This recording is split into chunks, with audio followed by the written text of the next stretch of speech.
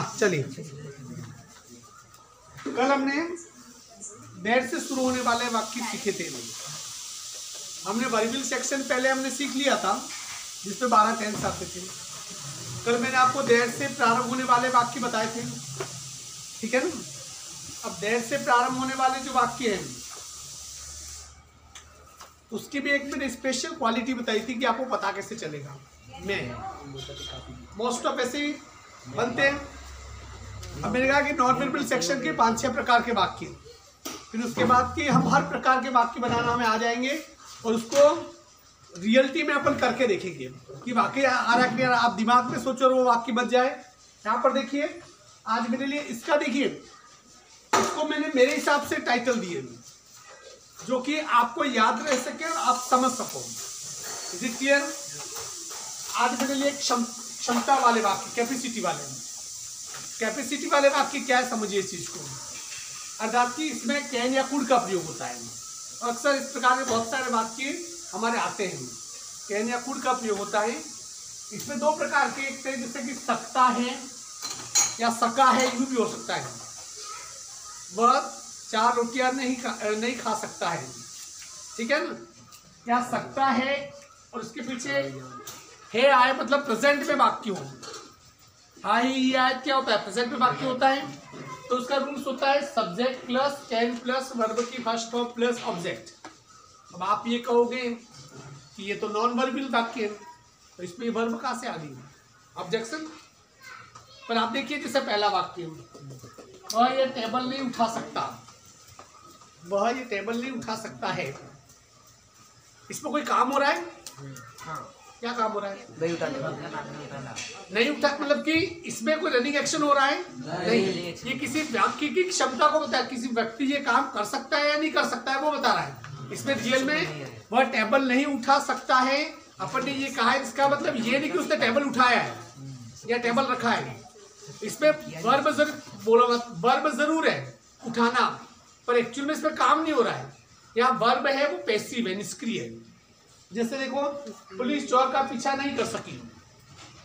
इसमें ये पुलिस की कंडीशन को बताया जा रहा है, वो अभी पीछा कर नहीं रही है। इसलिए यहाँ पर क्षमता वाले वाक्य, आपको ये ध्यान रखना है कि आपके दिमाग में इस प्रकार का कोई भी वाक्य आए जिसमें सकता है, सकती है, सकते हैं लगे, या सका था, सकी थी, या ये सब दिमाग में आए तो इसका मतलब वहाँ पर कैन या कुड का प्रयोग होगा। प्रेजेंट में वो हाई है, सकता आ रहा है तो subject plus can plus verb की फ़र्स्ट फॉर्म प्लस ऑब्जेक्ट यदि सका था थे थी आ जाए। तो वहाँ पर सब्जेक्ट प्लस कैन का पास्ट क्या होता है? कुड प्लस वर्ब की फ़र्स्ट फॉर्म प्लस ऑब्जेक्ट इसके कुछ पाँच पाँच छह छह एग्ज़ाम्पल मैंने लिखे हैं आपके सामने। इससे मैं ये टेबल नहीं उठा सकता। सकता आ रहा है? ठीक है? सब्जेक्ट क्या है सबसे पहले इसमें? आई आई के बाद क्या लगेगा? कैन आई कैन नहीं उठा सकता नेगेटिव है कैन के बाद क्या लगा दो? नॉट लगा दो। आई कैन नॉट इसको कांट भी लिख सकते हो शॉर्ट में। आई कैन नॉट देखो सब्जेक्ट हो गया कैन हो गया, नहीं है, इसलिए नॉट हो गया, फिर वर्ब वर्ब क्या है? उठाना। उठाने को कहते हैं लिफ्ट क्या? आई कैन नॉट लिफ्ट यह टेबल ऑब्जेक्ट है ये ऑब्जेक्ट तो I can not lift this table जैसे अगला देखिए वह दसवीं उत्तीर्ण नहीं हो सका। वह दसवीं उत्तीर्ण नहीं हो सका। उसका क्या होगा? सब, सबसे पहले रूल्स क्या सब्जेक्ट नहीं हो सका। सका आ रहा है जिसका मतलब? सब्जेक्ट प्लस कुड लगेगा। तो वह के लिए क्या आएगा? ही ही के बाद क्या आएगा?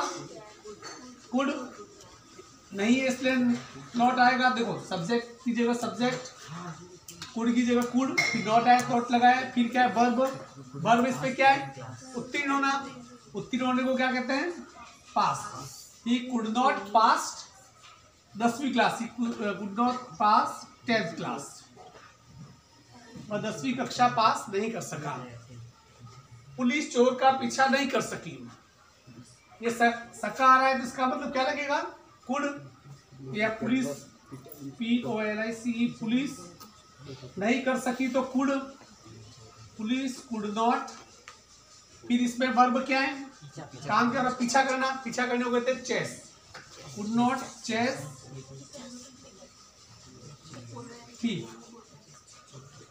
चोर का पीछा नहीं कर सकी। पाकिस्तान भारत को नहीं हरा सकता है। भारत पाकिस्तान भारत को नहीं हरा सकता है। सकता आया इसका मतलब क्या लगेगा? कैन। तो पाकिस्तान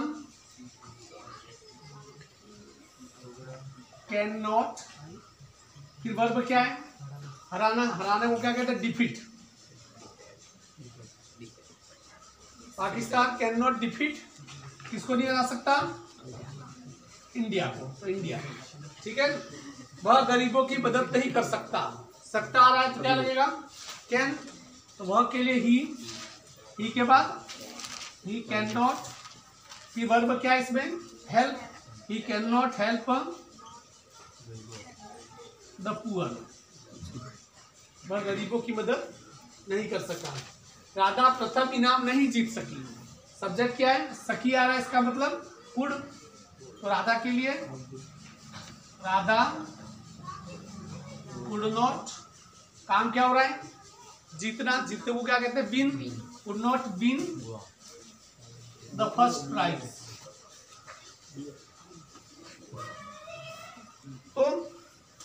प्रकार से कैन और कुड से क्या बनेंगे? वाक्य बनेंगे। ध्यान रखना है कि सकता इट मीन कैन सका इट मीन कुड और ये सकता या सका, ये आएगा कहाँ? आपके इस भेजे के अंदर। जब कोई ऐसे बनाने बैठोगे, कुछ लिखने बैठोगे इस प्रकार का कोई वाक्य सोचते हैं जिसमें ये आ रहा है तो वो फिर कैन या कुड की मदद से आप क्या करोगे? वाक्य बनाओगे। अब इसके बाद देखिए मैं आपको लिखने का टाइम दूँगा, पहले समझ लो। तीसरे टाइप का वाक्य, बिल्कुल साधारण वाक्य जिन वाक्यों के अंत में हा, ही ही आए, या थाते थी आए। परंतु एक चीज़ कंफर्म सभी वाक्यों में उनमें वर्ब नहीं होनी चाहिए। वर्ब मतलब रनिंग एक्शन नहीं होनी चाहिए। क्योंकि रनिंग एक्शन होगी तो फिर वो किससे बनेंगे वाक्य? टेंसेस से बनेंगे। इस बात का ख्याल रखना है। इसलिए कोई भी वाक्य बनाने के पहले अपने दिमाग से क्वेश्चन ज़रूर कर देना कि रनिंग एक्शन है या नहीं है। रनिंग एक्शन नहीं है तो इन वीडियो से बनेंगे। रनिंग एक्शन है तो फिर आपको टेंस में पहुँचना होगा बारह टेंसों में, ठीक है ना? यहाँ पर देखिए, साधारण बिल्कुल वाक्य। हाई ही आए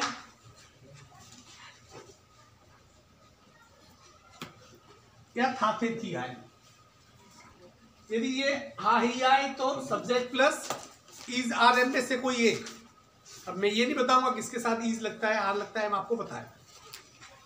प्लस एडजेक्टिव इसमें वर्ब नहीं होगा। था तृतीया subject plus verb plus adjective या एडवर्ब या ऑब्जेक्ट जो भी है, हो सकता है, ठीक है ना?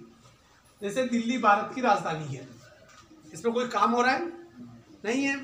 तो सबसे पहले सब्जेक्ट दिल्ली। दिल्ली है, आ रहा है, इसलिए इस में से लगेगा। क्या लगेगा दिल्ली के साथ? Delhi is the capital of capital of India राजधानी को क्या कैपिटल कहते हैं।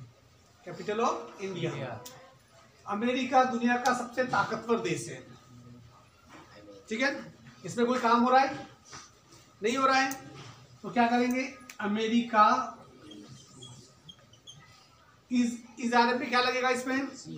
इज़ अमेरिका इज़ द सबसे ताकतवर वो कहते थे most powerful the most powerful country of the world दुनिया का of the of the world वह कक्षा का सबसे बुद्धिमान लड़का है।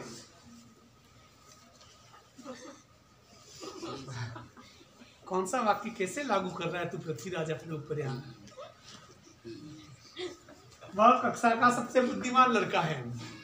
पहले से ही केड़ा हो गया, बिल्कुल टाइगर की तरह हूँ वह के लिए ही ही के साथ क्या लगेगा? हे आ रहा है, इसलिए इसमें भी क्या लगेगा? इज़ ही इज़ सबसे बुद्धिमान को क्या कहते हैं?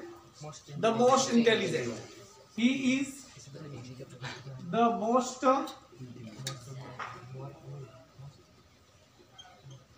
most intelligent boys in the class यदि वो तुम कंफ्यूज हो तो मैं बता दूँ, यदि ये वाक्य ऐसे होता, पृथ्वीराज मानस से ज़्यादा बुद्धिमान लड़का है। बाय द वे ऐसा होता, ठीक है? बाय द वे और ये तो अपन जैसे कि मैथ्स में इमेजिन करते हैं, माना कि ये ये माना कि ये इमेजिन तू बेटा यू मत हो जा। पृथ्वीराज मानस से ज़्यादा बुद्धिमान लड़का है, तब क्या बनता? Prithviraj is more intelligent than Manas. You बनता, ठीक है? उसकी आवाज़ बहुत मीठी है। मैं नीलम की में लिख सकता था मैं यहाँ पर। और उसकी आवाज़ तो है बकरी की? उसकी आवाज़ बहुत मीठी है। तो क्या होगा? उसकी आवाज़ हिज वॉइस ये लड़का भी हो सकता है लड़की भी हो सकती है इसे पता नहीं चल रहा है। तो हिज हिज वॉइस लिखो या हर वॉइस दोनों सही है। His voice is very very sweet clear Ram समय का पाबंद लड़का है। क्या होगा? Ram is the punctual of time punctual of time पाबंद को क्या कहते हैं? पंचुअल पंक्चुअल ऑफ़ टाइम प्राचीन काल में भारत एक अमीर देश था। था आ रहा है तो किससे बनेगा? राज्य। वर्ष है। तो क्या बनेगा? लिखो क्या इसमें सब्जेक्ट क्या है? प्राचीन काल। सब्जेक्ट क्या है? प्राचीन काल प्राचीन है। भारत है। इसमें भी मैं उठा रहा है पर वो कहाँ पर? देखो बिल्कुल सही है। प्राचीन काल में भारत एक अमीर देश था। इसको जैसे में आ रहा है ये मैं तो एज ए प्रीपोजिशन आ रहा है इनके संदर्भ में। इसको तुम देर से बना के देखो। नहीं बनेगा। बना के देखो आप नहीं बने। क्योंकि जो मैं वाला वाक्य होगा तो देर से जो बनने वाला होगा तो सीधा ही बन जाएगा। अपन इसको आप बनाने की कोशिश करोगे तो आपको लगेगा कि यार ये तो गलत बन रहा है। इसका मतलब ध्यान रखना कि फिर ये रूल ध्यान रखना आप ठीक है? ना जैसे प्राचीन काल में भारत एक लड़का हाँ, अमीर देश था। तो क्या होगा? India